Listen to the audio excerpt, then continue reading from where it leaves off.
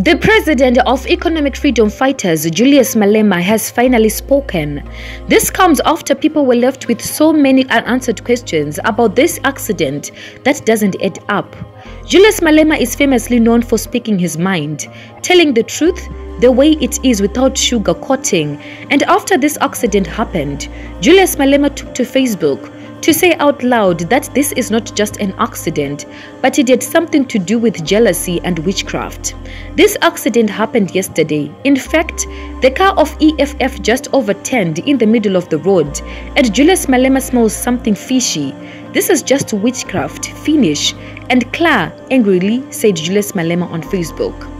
Facebook users hopped into the comment section to share how they feel about this accident.